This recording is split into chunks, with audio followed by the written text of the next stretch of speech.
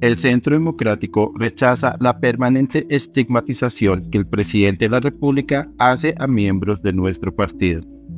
Ayer, desde Pereira, cobardemente y sin prueba alguna, acusa a un empresario cercano al Centro Democrático de ser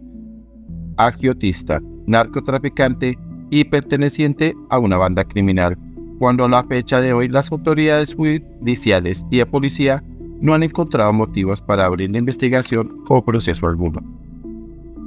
Esta acusación infame, ilegal y delictiva por parte del presidente Petro solo pretende desviar la atención de la opinión pública nacional ante los graves problemas económicos, sociales y de seguridad que enfrenta el país por la ineptitud e incapacidad del gobierno. El gobierno nacional, en vez de perseguir políticamente a sus opositores, debería más bien de explicarle al país cómo sus funcionarios y cómplices políticos se vienen robando sistemáticamente los recursos de los colombianos sin asomo de vergüenza alguna.